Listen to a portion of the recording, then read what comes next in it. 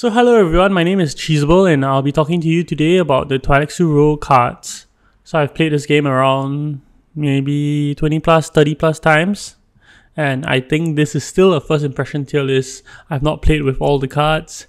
Um, I played with most of them and I'll give you my first impressions of them. So on the Tleilaxu row, there are currently 19 cards. One of them which is a promo card. So if you pre-ordered, you would have it, or if you play online, you would see it. And that is Piter Genius Advisor. We'll talk about it later. So we'll talk about some of the more expensive and marquee cards of the set. First of which is Twisted Mentat. So for 4 Tleilaxu cubes, you can get a card which allows you to recall an agent. So Urgent Mission uh, is one of the best cards in the game you know, whenever you draw the entry card, you are very excited. However, Twisted Mentat, for me, this card is trash. I, I do not know why it plays out so badly, but every time you get this card, you end up going to Mentat a lot. That's all you kind of use this card to, to do. I mean, some other times you you go to other spots and it might be good, but the, the the the sheer amount of cards that you require to to play this card is is is way too much. So let's say if you have Swordmaster, right, you're playing three cards already. With this, you're playing four, and because this is a graft card, right, you need to graft this card to someone. Uh, another card means that you need to play five cards total. In such a situation, you are rarely buying a Spice Must Flow, and uh, the fifth card that you are grafting is normally not a very good on play effect. So ends up you are grafting convincings to it or daggers to it, and it doesn't work out very well. Often when you have this card, you need to spend your turn to draw, and, and normally on on rounds that you draw, you want to buy Spice Must Flows. But when you play this card, all you want to do when you draw it is to play more cards, and the card quality is very very bad. Maybe someone will show me that this card is broken, but it has not impressed me any time I've seen it. It's also very expensive. 4 cubes is your entire budget for buying Tleilaxu cards. This card is trash. Next on the list, we'll talk about Ghola. So Ghola is a one uh, three cost card, and the ability is to copy the agent box as the other grafted card.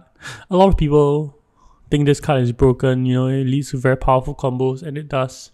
And some people hate this card because the amount of rules that you have to you have to tag onto this card or the amount of like uh, NX that you have to add onto this card is endless. What if I graft this card? What if I graft this card? No, it's an endless uh, game of rules. But is this card good? Yes, this card is good. This card is is uh you know when this card appears on the road, you know everyone races to buy it. You know, um, I think even when you if you if you play it and you play it with an experimentation, you know, and you get a double research, I think the, the, the baseline is quite alright. Um, when you buy this card, however, you want, do want to purchase cards with good on play effects. I think until you do, the card value is low, but once you purchase one or two cards with good on play effects, this card's value goes up immensely. I do think it sits on the back of the S tier because it requires a lot of support, and by itself, it does, doesn't win you the game. So the next card I want to talk about is Usurp. So Usurp is the other 4 cost card. So once again, 4 cubes is very very expensive. The the difference between this and Twisted Mentat is that when you play this, you do not need to use a card in hand. So uh, you kind of have 5 cards constantly to play out. I think later on in the game, sometimes the row might be a little bit clogged up. But even then, there should still be options for you to play that are good. This card is really is quite a good card. You know, it is it needs a lot of flexibilities. You know, and if you have your um, atomics token, you know, it, it gives you value as well. Every time this card is out, you know, people will rush to buy it. It's a good card. Try it out. So I'll talk about another card that I like. So Corrino Genes. Corrino Genes is a one cost card that if grafted, you get you get a beetle. It has limited access to the emperor, but the best thing about this card is that when you buy it, you get two Solari, and when you can get two Solari early in the game, you know it is very very powerful. A lot of times, it, buying this card will allow me to uh, get that Sword Master or get that extra man that I need to push me over the edge to to get my earlier game objectives. So do not underestimate this two early Solari. The card by itself is not terrible as well. Uh, I think going to the Emperor is, is fine and if you can graft it, getting a Beetle is, is fine as well. But this two Solari, this two Solari is worth buying this card. If, if you see it, do consider it. It will speed up your game. So we'll move on to another one cost card, an Industrial Espionage. So what do I think about this card? I've never seen it played. I've seen it bought like once, but I've not seen it being played it, it's a bad card. It has bad access, you know, and you need to graft it. And there, I mean, the set is about grafting, but there, to be honest, there are not many grafting cards. And the cards that you can graft, you probably do not want to graft to this. Probably if you have uh, like four, or five grafting cards in your deck, maybe this will be good. But I have not seen anyone play it, and till then it's still trash. So next of next of the cards is from the tanks. I really want to like this card. I play a lot of green leaders. I play Ilban, I play Leto. I even consider Elysia a green leader. So and and I've been trying to get this card to work, but every time I buy this card, this card disappoints me. It doesn't do anything in any deck, um, as compared to Sardaukar Legion. So Sardaukar Legion allows you to go to wealth as, as, as, well. And also when you reveal, you can deploy three troops. That card is a lot more flexible than this. This card is too expensive for its cost. If it costed one, I'll consider it. But costing two is too much. You you have a bad card in your deck that maybe grants you troops that you can't deploy. Uh, and these two cubes do not further your your points getting on the Twi'lek uh, on the Twi'lek track, the Beetle track. So this card is trash. Next on the list, we have Contaminator. Contaminator is one of those cards which, when I look at it, it looks like um, Jamis. It reminds me of Jamis. And so I think Jamis is a bad card. However, I think Falconer thinks that Jamis is a good card. So take this with a grain of salt. I do think when you play this card, this card can be good. No, and this card is good if you play it the issue with uh, a card with like this is that it's very rigid. You know, there are not many places you can go. Most of the time, you can only take a water. Sometimes you can bring troops. Yeah, and you get. I mean, the the best part about it is that you get a beetle. Uh, I think sometimes it will sit in your hand and just be revealed for one, and you don't want cards that reveal for one in your deck. So the the kicker to this card, I feel, is that if you do have Swordmaster, or if you are in position to grab an early Sword Master, this card goes up in value tremendously. If you have a spare action to play to the Fremen, I think this card is very very strong. So if you have Sword Master, this goes up way way higher, maybe all the way to uh, A tier. So do, do do take note about that. But until you get Sword Master, I think don't think this is very good. It's a meh tier. So next on the list, we have uh, Beguiling Pheromones. Beguiling Pheromones is one of those cards that require you to have other cards with faction access. So how many cards do you have in your deck with faction access? You have one. You have a Diplomacy. So as such, this card, I think is okay. Um, the effect is, itself is powerful enough to, to warrant purchasing this card. Now, when you purchase this card, all your diplomacies become power plays, and I guess we established that power plays are pretty good at card. The issue is that if you trash uh, all your access, then you can't really get the points anymore. So you you do need to have access cards in your deck. I think this card works very well with full spaces or other cheap access cards. So when you buy this card, do note that you have to have those cards or you do have to prioritize those cards a little bit higher.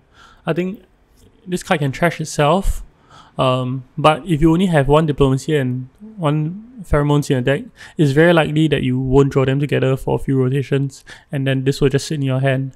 So do purchase more faction access cards, and um, if if if you have a decent amount, this card is is then okay. Next on the list is Chair. So Chair is one of those cards which I think some people really really like. Uh, there are some cases where it plays out very well. However, for the cards you have in your deck, the, the baseline cards, what you're going to play it with and experimentation. You know, you're going to get a research pump and then you're going to get one more cube. Um, it, it kind of like doubles up your, your card to your other card to be uh, on play and then on a reveal as well. So you get both effects on top and bottom. I think once you some cards are very good with it. Cards like Opulence or Stilgar, the cards that are that require both sides of the cards or cards that are naturally good on both sides. However, not many cards are like that, so that's why it's only an okay tier. It's a good graft. Uh, grafting, grafting in generally is a good uh, effect. Um,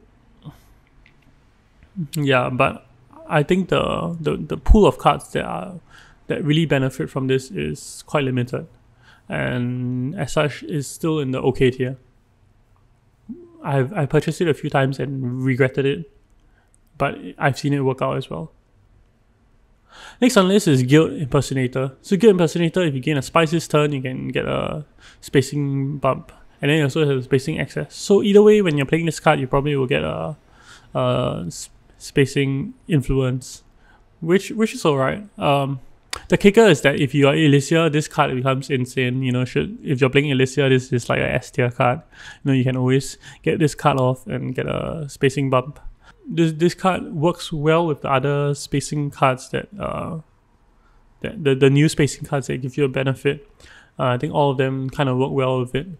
And I have some games where uh, I I've played it and you know this card is, is, really good. Um, however, I've seen many times when people buy this card and they just reveal it, and I think I see that quite often as well. So that's why it only says on the OK tier. But do note if you're playing Elysia, this card is very very good. Buy it. So next on the list is Face Dancer Initiate. So Face Dancer Initiate is uh has three faction accesses and allows you to graft most of the time when you buy it, you want to play it with your experimentations, and suddenly your experimentations can go to faction spots, which increases the value of the card tremendously. So I think that's in graft in general. When you graft, you early on in the game you're grafting to experimentations and and having to be able to play the experimentations and not go to experimentations is very good by itself.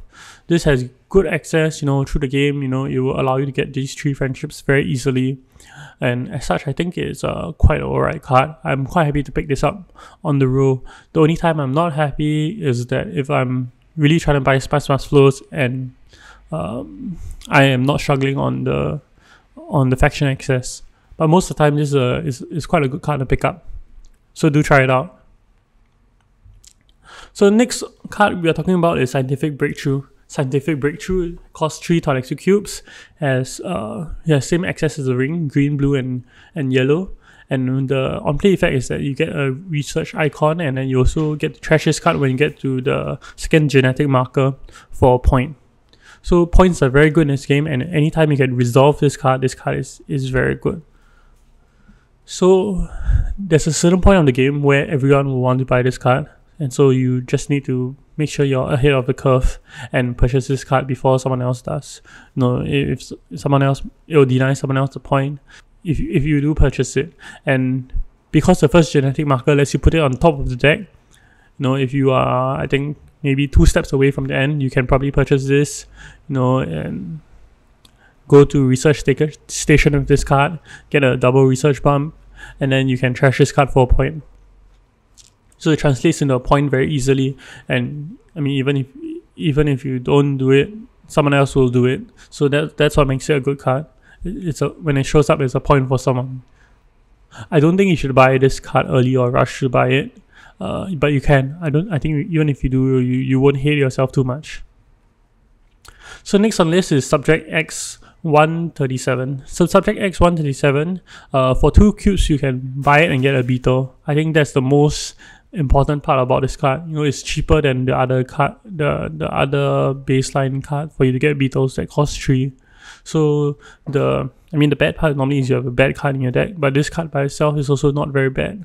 You know, if you if you do get it and you are able to do, to have the first genetic marker every time you play it, you know you can get a beetle. You know you can always just go Mentat or maybe if you have shipping access, you can play it and get a beetle. It often translates into a point by itself. So this card is, is pretty good, especially if you're the, at the first genetic marker. I think if I'm near the first genetic marker, I'll definitely consider buying it. So next card on the list is Sligfarmer. Slick, uh, Sligfarmer has impressed me tremendously. Every time I buy this card, I, I feel like this card is generating me a lot of value and winning me the game. It's a green graft card, and every time you graft it to another card, and most of the time you're gonna graft it to diplomacies, full spaces or your ring, right? And you get a bunch of Solari. And this Solari can translate into beetles, but what else it can translate into? It can translate into sword masters, it translates into um, high councils, you know, and, and and being able to enable those actions, you know, is very powerful. So early Solari is very important, and Sligfarmer kind of enables that. Um, and late in the game, you also can convert your Solari into into beetles. So, so do try this card. This card is really quite good. I think it has impressed me every time I bought it. Next on the list, we have Face Dancer. Face Dancer is uh, it's a two-costed card, and every time you play it, you you get to play whatever face dancer initiate is. But in addition, you draw a card. Normally, when you play a graft card, you're you're you're net minus two, but with face dancer, you're you're net minus one because face dancer cycles itself. I think having the ability to cycle itself makes a card a lot stronger as well. I think whenever you have cards that allow you to draw, you know, they draw into themselves more and they, and then you get to play your good cards more often. So I, I, I do like this card. This card is always good in the game. Enables a lot of combos as well through the Emperor, Spacing, and Fremen, uh, depending on what tag you need. Uh, so do try this card out. This card is, is on, on a baseline is good. So next we're moving on to our top tier, right? And all the remaining cards are top tier and I, I don't think that left to right, you know, they are arranged the, the best. I, I'm I'm not so sure amongst them which is the best, and most of the time you only see two of them, so you can just try whatever you feel like playing. Uh, you, it's not as though you'll see five of them and you have to choose. Okay, so for Stitched Horror, right, what um, it allows you to to graft on a, to a blue space and also uh, allow, gives you a scarab, which is most important, allows you to trash, which allows a very uh, niche deck building strategies. Also allows you to get water, which is rare and you know if you have a troop you can deploy into combat. So this card is overall very good. It enables uh enables deck building strategies tremendously. You know with, with this card uh, you can enable that uh, deck building strategy and you also can get beetles and beetles will generate you uh, maybe a, a point plus. You know with this card you can comfortably get to the end of the the Tleilaxu track. And that's a point. So because it enables a point this card is good. I've seen it used in combat strategies as well uh, as well as some artillery strategies. Um, yeah overall it's a good card. I don't get to play with it very often as it flies off the roll Next on the list is Genius Advisor. So Genius Advisor has is, is one of the top tier non-graft cards. When you play it, you get to lose a troop and draw two cards and get a research icon. Uh, the, the card is best when you have uh, shipping access, but if you don't have sh shipping access, it's still not that bad. You can go to Mentat and enable this ability as well. Um, the the issue I find with this card is that you have to lose a troop, and in uh, immortality, losing losing a troop is quite significant. You often don't have enough troops in immortality, and spending three cubes to get two cubes, uh, three, spending three cubes to get two troops, uh, feels bad at times. But I think when you do buy Piter, you, you uh, very often you need to spend the three cubes to buy two troops. Okay, but the effect is very very strong. You know, being able to draw two cards, you know, and draw get a research icon. That is a whole um, that's the whole res- uh, research center space, you know, and as such, this card is very very strong from the from the play effect. It will enable a lot of spice and slows and allows you to progress up the track very quickly. I, I do like this card a lot, but do note about uh, this losing a troop thing. It has come up multiple times. I think I've played this card maybe four times, and two of the times I struggled to lose a troop. But this card is still good. Next on the list, we'll talk about Unnatural Reflex. Unnatural Reflex is one of those cards that um, cycle into itself as well. You know, it cycles into itself very easily as you can always play it. You, you don't need to go to yellow space, you just craft something and then you cycle two cards. And being able to cycle cards is very strong as it allows you to play your stronger cards more often. So I really like this card. The issue with this card is that you do need to get to the first genetic marker. A lot of time when you're rushing to get your your first card off the row when you buy it, when it comes in your first rotation, a lot of times it doesn't um, you don't qualify for the first genetic marker, and thus you don't get the effect. And if you don't get the effect of the first genetic marker to draw two cards, this card is is terrible. So the the that's why that's why in my guide for the research track I do advise if you do buy this card to to chase the top row as you do need to get to the first genetic marker for this card to generate you any value and if you play this card and you don't have that genetic marker this card is absolute trash but once you do this card is amazing you know you can always play it to draw two cards to cycle out and draw your better cards I am always happy to have it once I have the genetic marker so just do watch out for the genetic marker. It is a requirement and it is painful at times. So sitting on the top of my list is Tleilaxu Infiltrator.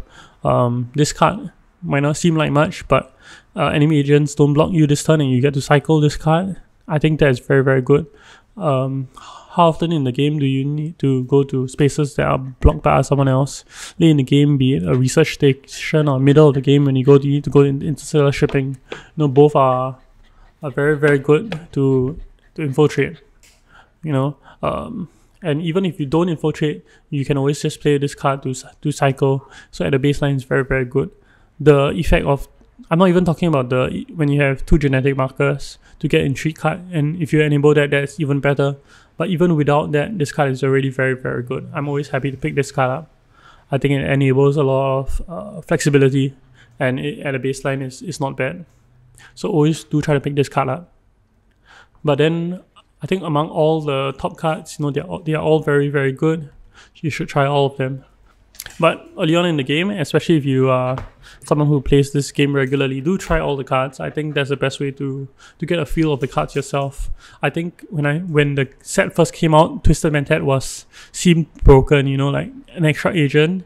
That's insane. However, now I play it and I, I hate the card. I will not buy it most of the time. So I hope you enjoyed this this tier list and I hope it is helpful in your Dune Immortality games. See you around.